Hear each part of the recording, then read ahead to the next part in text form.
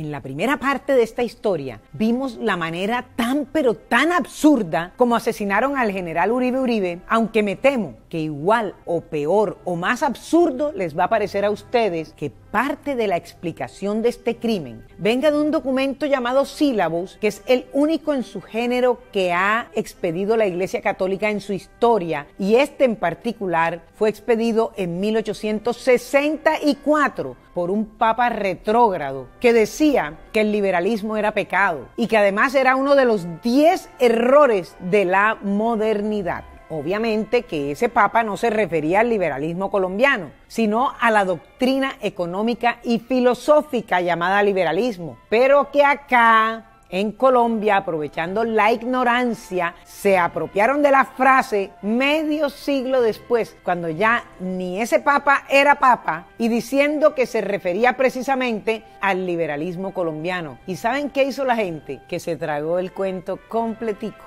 Aprovecho para pedirte que te suscribas a nuestro canal para seguir haciendo estos contenidos. En ese momento se había formado en Colombia una hegemonía oscurantista entre la Iglesia Católica y el conservatismo, que perduró hasta 1930. ¿Y saben por qué se acabó? Por la muerte de un personaje que yo llamo el Venerable, y de ese nombre no me voy a salir es que a falta de otra autoridad, los conservadores se dividieron y los liberales volvieron a las mieles del poder después de 45 años de un árido desierto. Es que en ese tiempo el Estado era el gran proveedor y los que perdían no tenían derecho ni a trabajar. Fíjense ustedes que siempre se necesita una autoridad para unir a los partidos, incluso hasta en los partidos más disciplinados como son los hermanos godos. Es que esa vaina no se puede dejar al garete porque ya ustedes saben lo que pasa. Pero ¿Quiénes fueron los autores intelectuales del asesinato del general Uribe Uribe? La respuesta está entre ese sílabus y el hombre distinguido de la escena del crimen de quien les comenté en el video anterior. Allí está todo.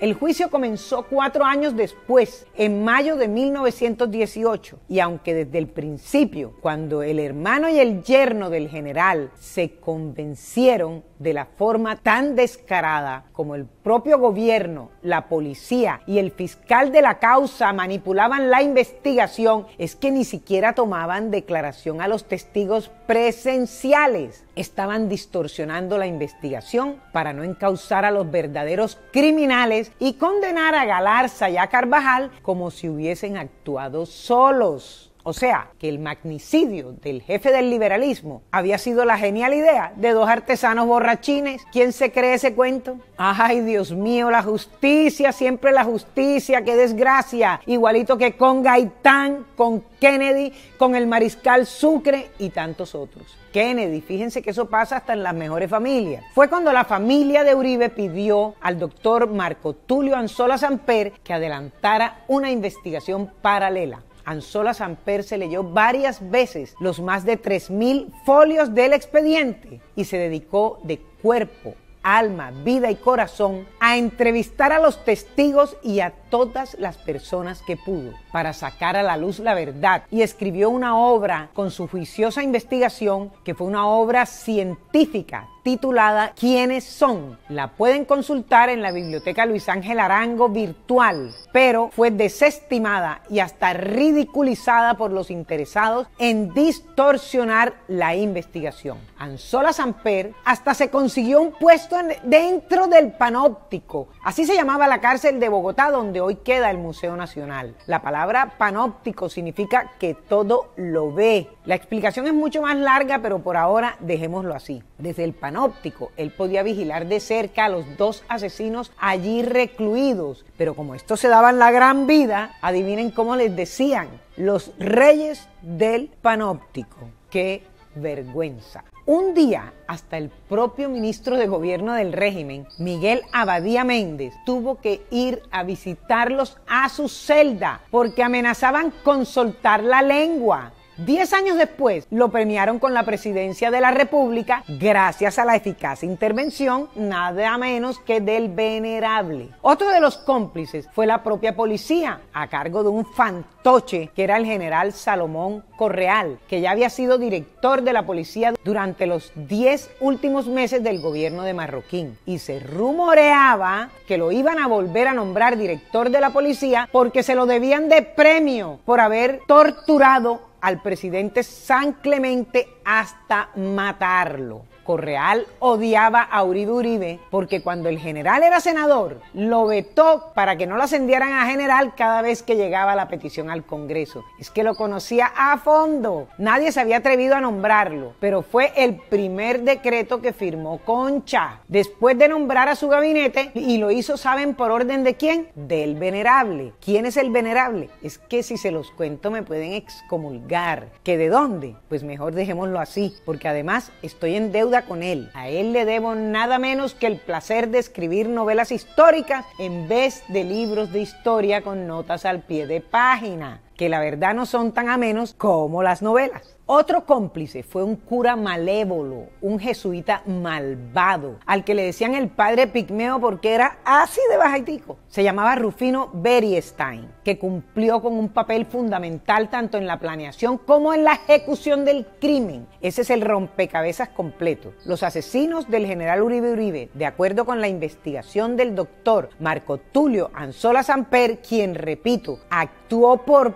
petición de la familia del caudillo, fueron la policía con Salomón Correal a la cabeza, la justicia a través del fiscal de la causa Alejandro Rodríguez Forero, el gobierno de Concha, Miguel Abadía Méndez, el padre Rufino Stein y otros tres jesuitas. Y todos actuaron bajo órdenes de un personaje a quien yo me limitaré a nombrarlo como el venerable, igualito al innombrable de Harry Potter, para no meterme en líos y después tener que gastar demasiadas horas demostrando una verdad que nunca ha sido ni nunca será oficial. Pero no dejemos por fuera los periódicos de la época, a todos menos a uno, del que tengo todas las publicaciones retratadas en mis archivos. Imagínense ustedes que el propio Correal, el director de la policía, asumió la instrucción del juicio. Él no tenía atribuciones para eso y alegaba una supuesta orden del presidente Concha como si aquí no hubiera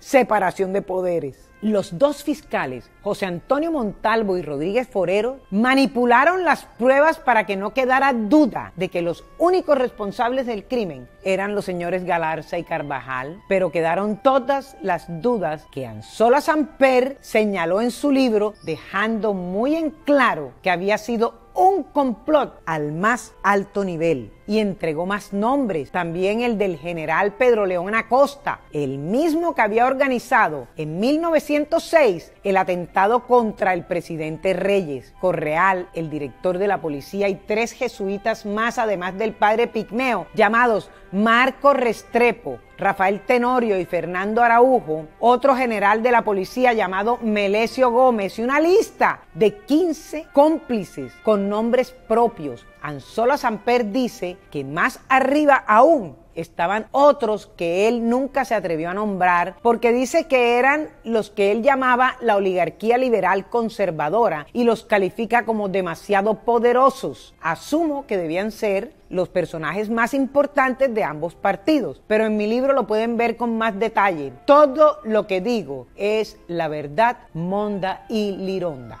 A Correal comenzaron a llamarlo el general Achuela. Se imaginan la burla, porque es que cuando no hay justicia es cuando se afila el ingenio de los humoristas. Pues bien, la instrucción a su cargo comenzó sacando al inspector primero de Bogotá, a quien le correspondía el caso, y nombró al jefe de investigaciones de la policía, a quien destituyó al día siguiente porque no se quiso plegar a semejante atrocidad. Anzola Samper dijo sobre el general Correal, por algo será que le dicen el general Achuela. Con eso quedó liquidado ante la opinión, si es que entonces esta existía. Anzola Samper denuncia que oficiales de la policía andaban con los dos criminales para arriba y para abajo antes del crimen. Es que tenían la orden de vigilarlos permanentemente. Los propios guardaespaldas de Correal estuvieron vigilantes en la propia escena del crimen ¿Y por qué quitaron la vigilancia del Congreso precisamente en ese día y a esa hora? Se jactaba diciendo que todo lo que él hacía y que era por orden del presidente Concha. Imagínense ustedes.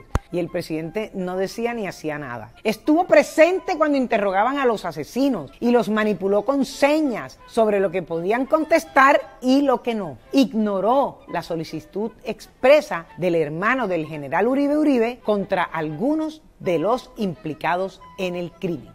Fue Correal quien silenció a los testigos espontáneos, entresacó las pruebas halladas en las casas de los asesinos y solo aportó las que le convenían para demostrar que estos dos habían actuado solos. Mantiene dentro del panóptico a un tal Francisco Pedraza, que es nada menos que el mandadero de los asesinos. Permite y está al tanto de todas las reuniones nocturnas de sus oficiales en el convento de San Bartolomé con el padre Berry Stein y los otros jesuitas antes del crimen, cuando lo estaban preparando. Y después del crimen, hace que sus oficiales vayan y escuchen las charlas del padre Pigmeo en las que denigra de la memoria del general Uribe Uribe. El propio Correal visita a los criminales en altas horas de la noche con sus hombres de confianza en la cárcel. Es que todavía hace falta algo más para probar su autoría en ese crimen. Yo me pregunto eso realmente como se lo pregunta Anzola Samper en su libro. Sobre el fiscal Rodríguez Forero, dice que actuó de mala fe porque desestimó todas las pruebas que conducían a la verdad, en contra de la propia familia del general. Hizo nombrar a su propio hijo, al del fiscal, como acusador en el juicio para indicarle a todo el mundo que la familia de Uribe Uribe desaprobaba la investigación de Anzola Samper. ¿Qué tal? Mejor dicho, a esa gente no le quedó un solo flanco descubierto. Pero realmente eso fue una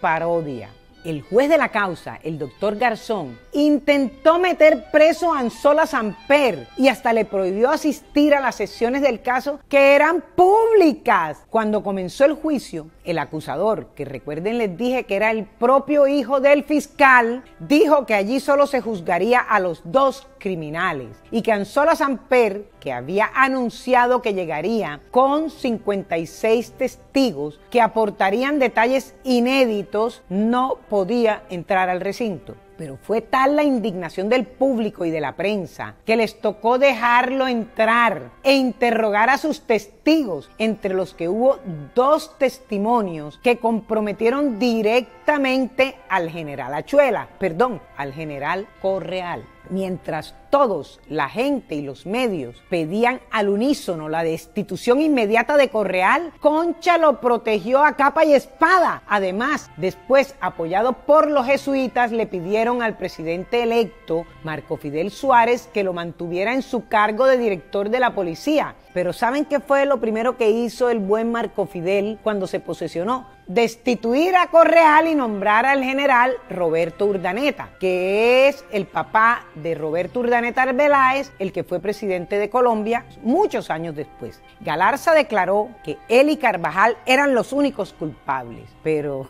Carvajal fue gaseoso en su declaración. Pero en junio de 1918 se les declaró culpables y fueron condenados a 20 años de presidio con la teoría de que habían actuado solos porque no les habían dado trabajo en el Ministerio de Obras. Y se dejó claro que no hubo actores intelectuales. Imagínense ustedes que esa fue y sigue siendo hasta el día de hoy la verdad oficial en este caso. Pero lo cierto es que nadie con dos dedos de frente se traga ese cuento de que dos artesanos tan básicos y rudimentarios como ese par fueron los únicos responsables de un crimen tan cruel y horrendo. Necesariamente tenía que haber detrás personas interesadas al más alto nivel en que en Colombia no brillaran las ideas liberales. Bueno amigos, hasta aquí esta tenebrosa historia sobre quiénes fueron los verdaderos asesinos del general Uribe Uribe.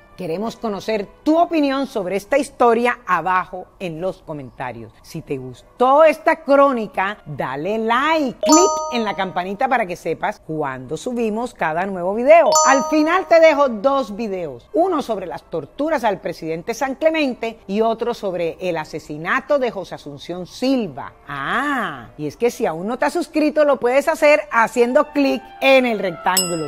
Hasta pronto.